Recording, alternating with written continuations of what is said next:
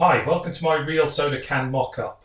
What makes this mock-up different? It combines real photography with Photoshop 3D. Unlike other mock-ups, this uses a real 3D object. It's the same as a smart object, but it distorts things properly along the shape of the can. Okay, let's jump right in. Here you'll see a folder called Instagram Effects, we'll come back to that later, Cam 4, and Background Color Ideas, which is also a smart object. Inside the Cam 4 folder, you'll see two other folders. The shadow, pretty self-explanatory. Uh, you can switch it off and on. It's all on transparency. You can change the opacity up here. And then the Can 4. Each of the can has a bunch of scary layers like this. They're not really scary. I'll go over them in a second. But let's take a look at 3D layer. If I double click on this layer, which is the 3D layer, a new panel should pop up. If it doesn't pop up, you can go to Window 3D. Okay, so we've got the soda can 4 here. We have all these other objects which we don't need to bother with at the moment. And if you select the Move tool, suddenly you'll be drawn into the Photoshop 3D environment. For the moment, we just want to edit the texture that's applied onto the can. Under Textures, you'll see this diffused map, Soda Can Label 04. By double clicking on the soda can label, it opens the smart object. Within this are two other layers, an instruction layer and a safe area layer. The safe area layer just shows you what clipping will occur top and bottom to your texture. So unfortunately you will lose a li tiny little bit at the top and a tiny little bit at the bottom. As long as you keep your artwork within this safe area, nothing will get cropped off. And this is the texture. So all you need to do is place your own artwork in here, save it, and the file will be updated. I'm not going to add in any new artwork. I'm just going to invert this one so it looks different. Then save it and close. As you can see, the new uh, texture has been applied to the can. So if I click away from that, we're now out of the 3D environment and back to the 2D environment. So let's just go over that again. So you just look for the 3D object, which is here. It's got this little 3D cube on it. Go to the textures, diffuse, soda can texture, double click. Texture opens up. Again, I'm going to invert this, so I'll go back to my original design, save, close, and click out of the 3D environment. Easy. Now the beauty of having it as 3D, if I go back to the 3D, is we can rotate the can. So if I rotate it along the Z axis,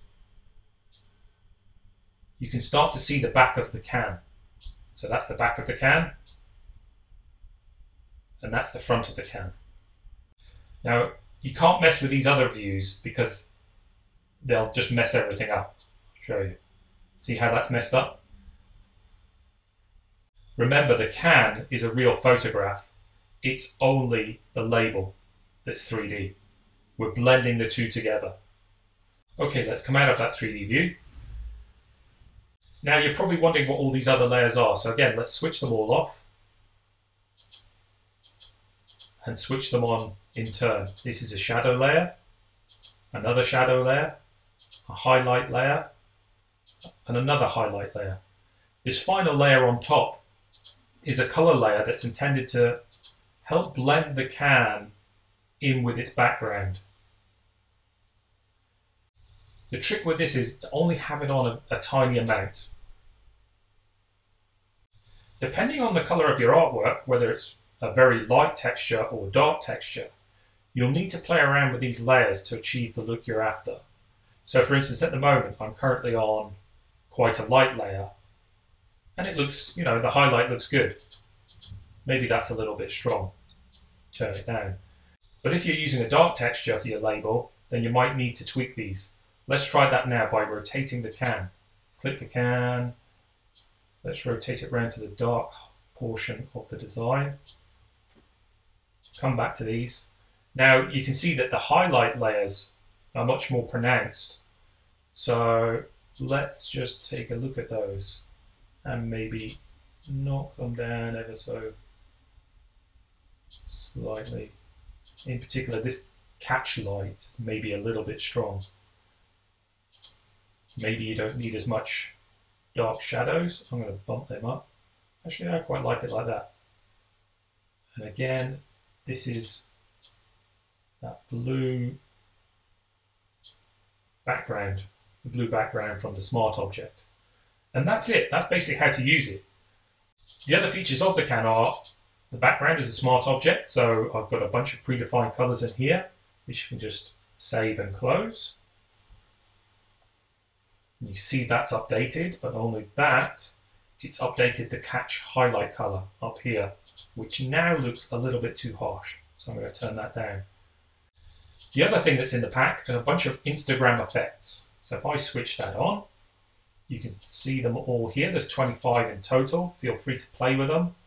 They'll give you some really weird looking effects, but still quite cool.